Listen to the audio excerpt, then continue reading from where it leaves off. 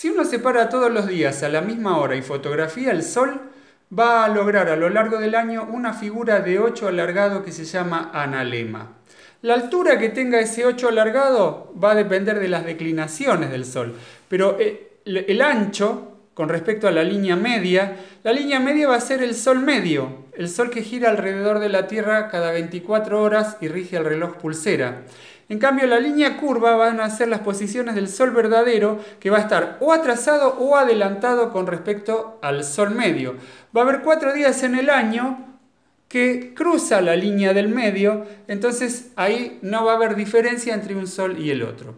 Este es un vertical que tiene un analema en la línea horaria del mediodía, o sea que cuando la sombra del extremo del estilo toca el analema, van a ser las 13 horas del reloj pulsera.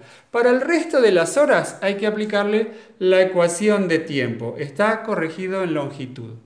Este es un ecuatorial de lectura directa. Tiene la grilla de ecuación de tiempo aquí. Entonces uno selecciona el valor de la ecuación de tiempo para esa fecha y el reloj va a marcar la hora directa y va a coincidir con la hora del reloj pulsera. Este es un inclinado de lectura directa es el mismo que está frente al planetario de la ciudad de Buenos Aires.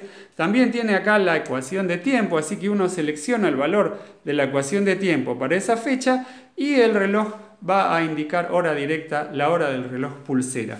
Este es un ecuatorial de Nomón móvil. Cuando la luz del sol pasa por este orificio, hacemos que el punto de luz ilumine la fecha correspondiente, entonces vamos a tener que mover el gnomon y ahí el cuadrante va a indicar la hora. Nos vemos en otro video.